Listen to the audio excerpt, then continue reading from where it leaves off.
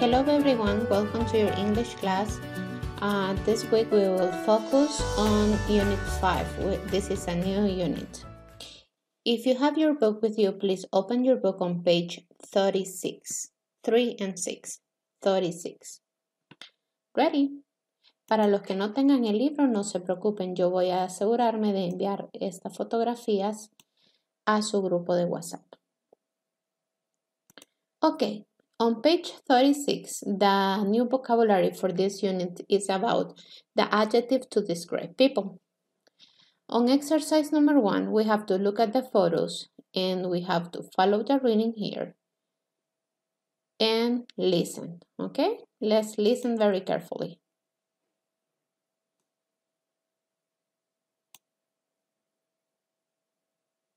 Page 36. Vocabulary. Exercise 1. Look at the photos. Read and listen. 1, The man is tall. The woman is short. 2, She's young. He's old.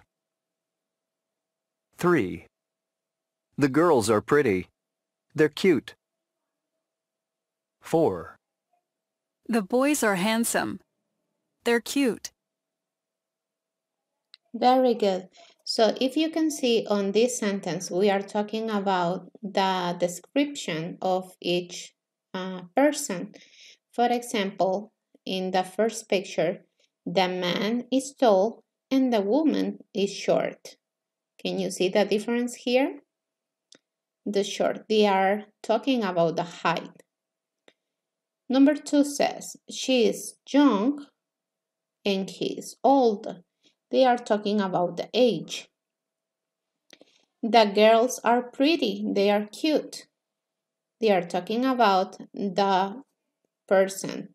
Okay? The boys are handsome and they are cute.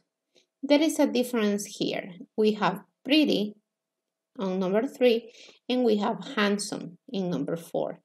The difference is that pretty we use it to call the girls bonitas o handsome to call the boys bonitos o guapos.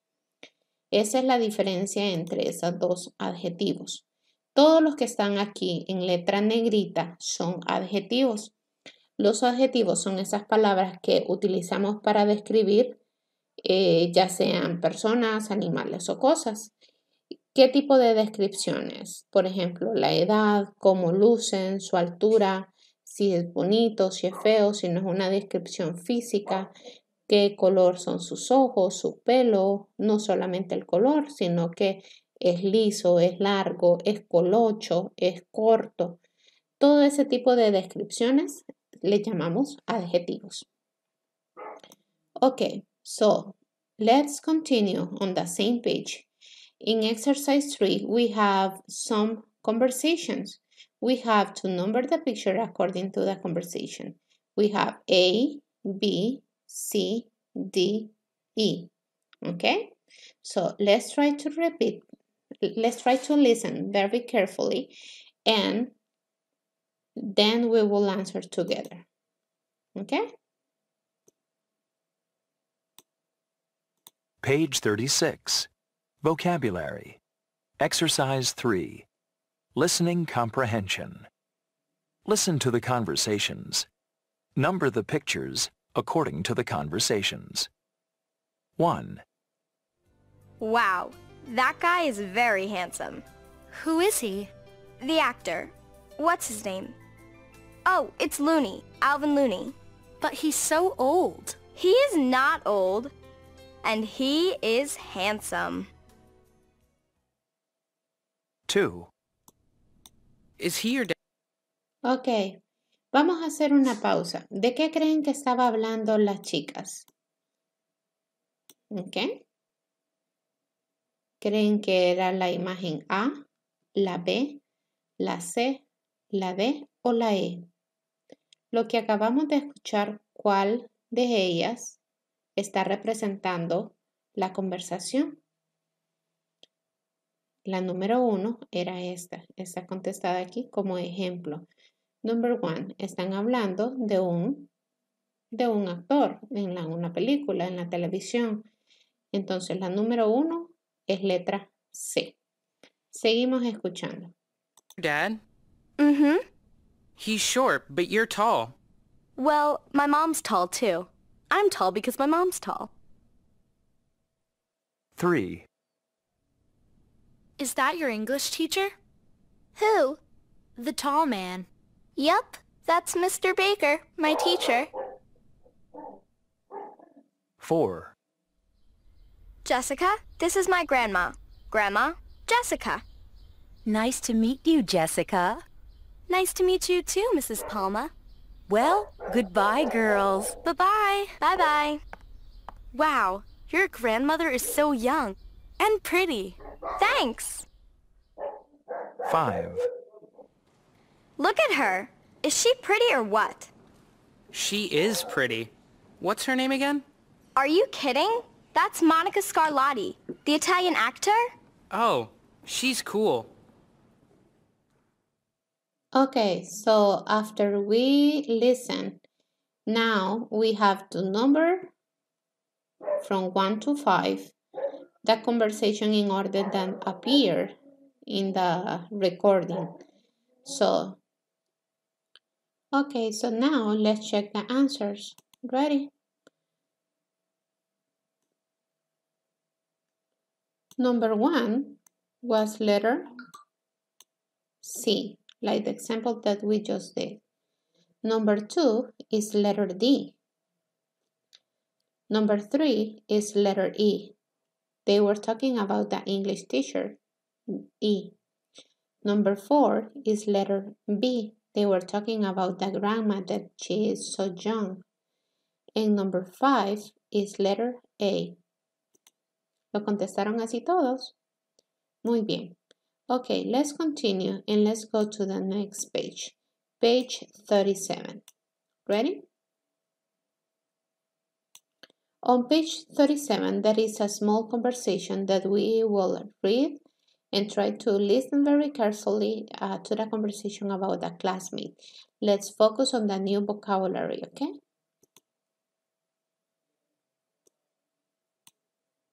Page 37. Topic Snapshot.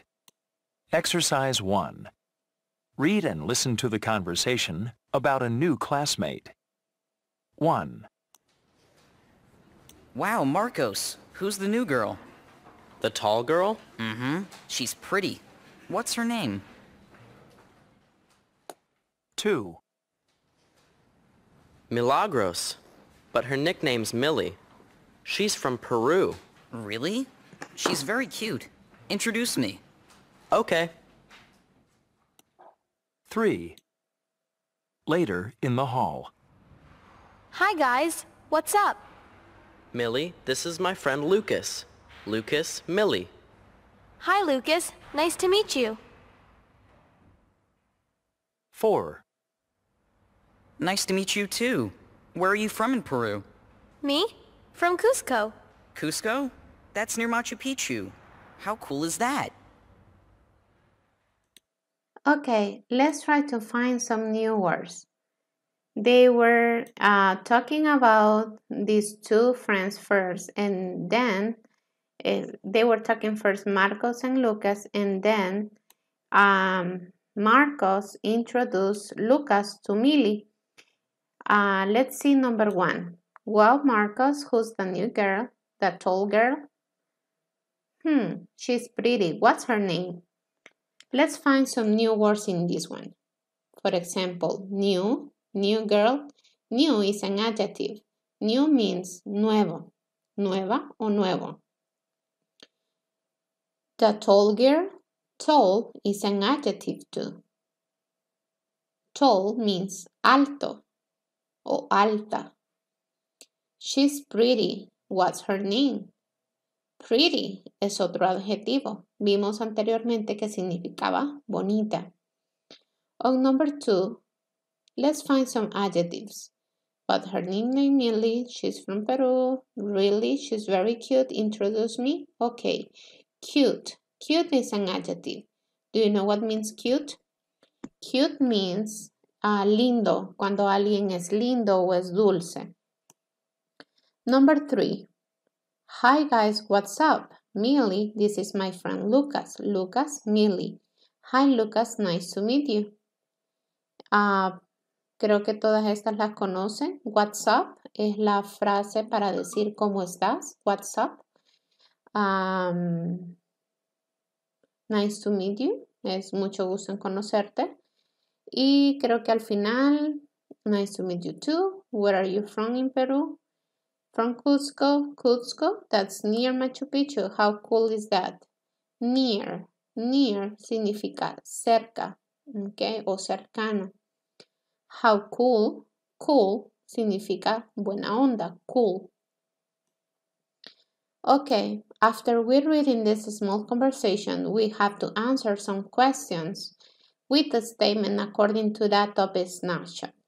Vamos a completar estas oraciones o estas preguntas con oraciones que tengan su respuesta en lo que acabamos de leer o en lo que acabamos de escuchar, que fue la conversación de Lucas, Marcos y Mil. ¿Ok? Ah, como un reminder, reminder significa siempre recordar. Use capital letter for names of people, cities and countries. Ah, siempre tenemos que escribir capital letters, son letras mayúsculas para nombres de personas, ciudades y países. Esa es una regla gramatical. Y no solo en inglés, en español también. Okay, so on exercise number two, it says, number one, who's the pretty new girl? Who's the pretty new girl? She's Milagros. What country is she from? Country, recuerden que significa país. Ya lo vimos. Uh, number three, what's her nickname? Nickname es como un sobrenombre o un diminutivo de su nombre. Who are the two boys? Who significa quién. ¿Quiénes son los dos chicos que estaban hablando? What city is the girl from? ¿De qué ciudad era esa chica? And number six says, is the girl tall or short? De la chica que estábamos hablando, ella era alta o baja. Short significa baja. Contestemos este ejercicio y vamos a ver un poco más de algunos adjetivos. Espero que ya hayan contestado el ejercicio. Eh, después me pueden enviar eh, las respuestas a través del grupo de WhatsApp si tienen dudas o si tienen preguntas. A continuación vamos a ver un listado de adjetivos para describir personas. Este lo van a copiar todos en su cuaderno y si tienen un diccionario a su mano, ya sea en libro o de forma digital, por favor escriban el significado o su traducción a la par. Let's uh, practice some adjectives. After you finish copy all this, you will have to describe yourself. Cada uno después de haber escrito eh, todo este vocabulario van a hacer como una descripción de cada uno de ustedes. En este caso, algunos estamos hablando acerca de personalidad, pero también quiero que incluyan adjetivos de apariencia. Por ejemplo, si es alto, si es bajo, si es gordo, si es flaco, em, si somos bonitos o si somos feos, según la percepción, ¿verdad? Porque todos aquí somos súper bonitos. Para, para alguien somos bonitos. Entonces, em, encontremos por lo menos cinco adjetivos que nos describan a cada quien, a cada uno como persona. ¿okay? Pueden ser adjetivos de apariencia y también pueden ser adjetivos que describan nuestra personalidad. ¿Estamos claros? Por hoy ha sido todo chicos, espero que la clase eh, les haya gustado. Eh, estamos a la orden, cualquier duda o pregunta que tengan a través de nuestro número en WhatsApp. Espero que estén seguros en casa y estamos a la orden, cualquier, cualquier comentario. Feliz día y que Dios lo bendiga.